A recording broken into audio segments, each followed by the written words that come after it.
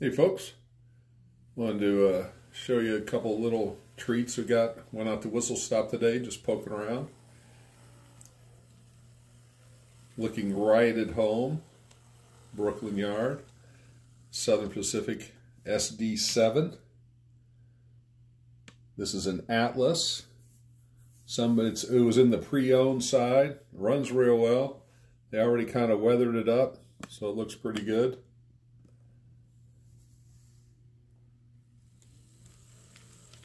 Then we got uh, $3 a piece. Santa Fe boxcar. We're going to uh, replace those silver wheels with black. And then just a nice 40 foot Southern Pacific boxcar. Got those two. So $56. Not a bad investment. Let's uh, put them on a train, see how they look. Uh, we'll have our train leaving Brooklyn Yard.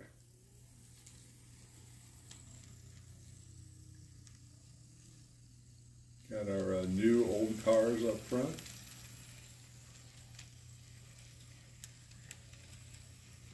And this would have been a typical consist, geez, all the way up into like the early 2000s.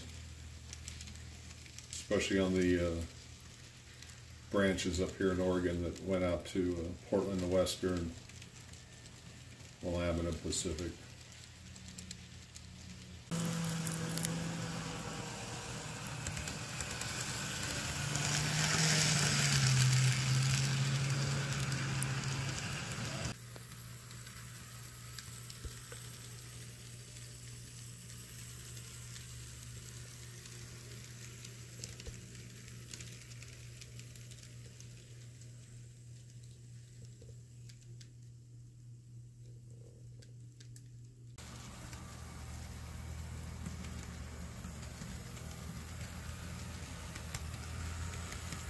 That pulls pretty good.